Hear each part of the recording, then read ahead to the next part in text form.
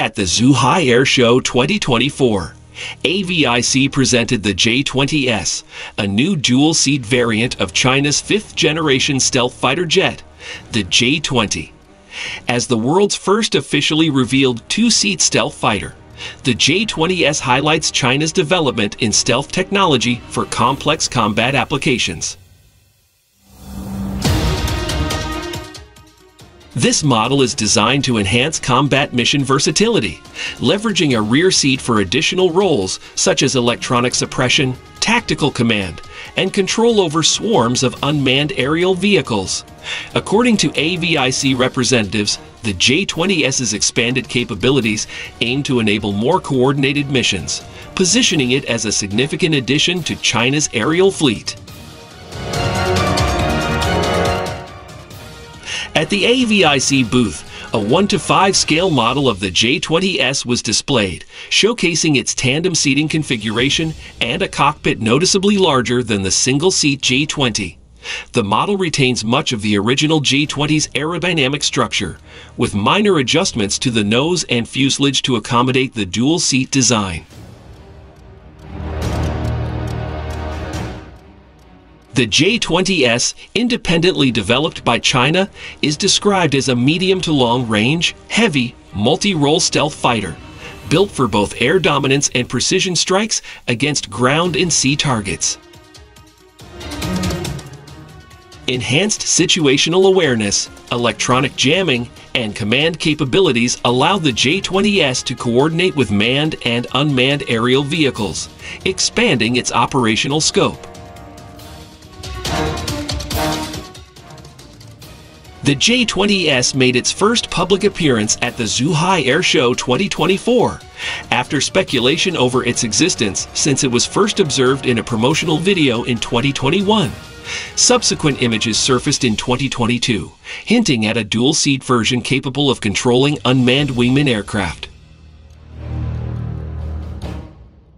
This model can operate both as a trainer to expedite J-20 pilot readiness and as a tactical platform where the rear seat operator may focus on complex mission roles such as coordinating unmanned wingmen like the Hongdu G-11 or providing airborne early warning and control.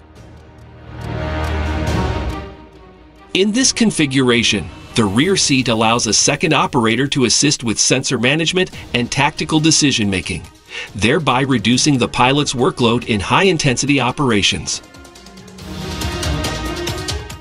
The J-20S's potential role includes acting as a tactical node within China's Loyal Wingman program, through which the rear seat operator could direct multiple UAVs in reconnaissance, surveillance, interference, or strike operations. Equipped with the PL-15E and PL-10E missiles, it is designed for a range of tasks, including ground strikes and controlling drone operations from the air. Some sources suggest that once operational, the J-20S could bring changes to training exercises and air combat tactics within the People's Liberation Army Air Force, adapting to networked and data-driven battlefield conditions. Notably, the J-20S is thought to be the first fifth-generation two-seat fighter officially unveiled, positioning it as a distinctive asset within China's evolving Air Force strategy. The J-20S's development has also involved speculation about future engine upgrades.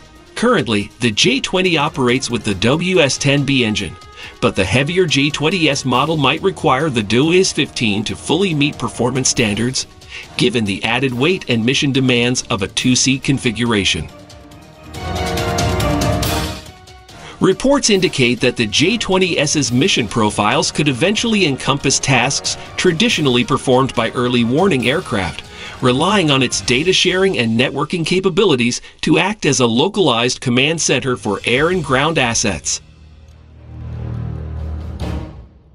The J-20S aligns with China's continued investment in coordinated air combat systems, particularly as it coincides with the 75th anniversary of the PLAAF, where 36 types of equipment, including various advanced fighters, were displayed.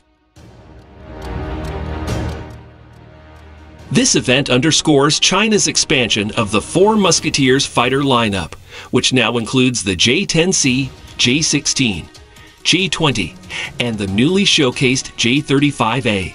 As part of this broader aviation strategy, the J20S, along with the J35A, marks China's capability to field an increasingly varied and technically sophisticated fighter fleet that supports China's focus on networked aerial and tactical capabilities in contested environments.